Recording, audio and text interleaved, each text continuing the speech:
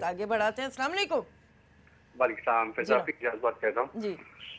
فضا بھی آج میں سوچ رہا تھا کہ یہ اگر حبیب جالد صاحب زندہ ہوتے تو کیا کرتے ہوں۔ ہر موقع پہ ہر چیزیں اتنی تیزی سے گھومتی ہیں بیچارے لکھنے کی بجائے سر دیوار میں مار دیتے۔ ہیں۔ اللہ خیر۔ ہمارا بھی یہی دل یہ کرتا ہے۔ ابھی یہ بات ہو رہی ہے جی۔ کہ ہم اس ملک میں رہتے ہیں جہاں منی لانڈرنگ انتہا پہ پہنچی ہوئی ہے۔ کوئی بیگ اٹھا کے لے کے جا کوئی کچھ اور کر رہا ہے۔ مگر نواز شریف کا بیانیہ اتنی جلدی بک جاتا ہے۔ ہاں۔ مطلب اس کو خریدار اتنے اچھے ہیں کہ ایک منٹ لگتا۔ اچھا۔ اس کے اندر آپ اگر اس خبر کو دیکھیں ہاں، ہاں۔ اس خبر میں چار اشاریہ نو بلین گئے ہیں۔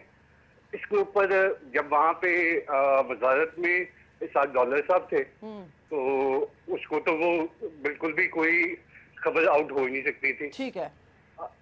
دوسری طرف ڈان نے ایک لکھ دیا کہ جی یہ تو پیسے ہی پتہ نہیں کیا کیا ہوا ہاں، ہاں۔ جو کہ بالکل بھی لاجک نہیں ہے ٹھیک ہے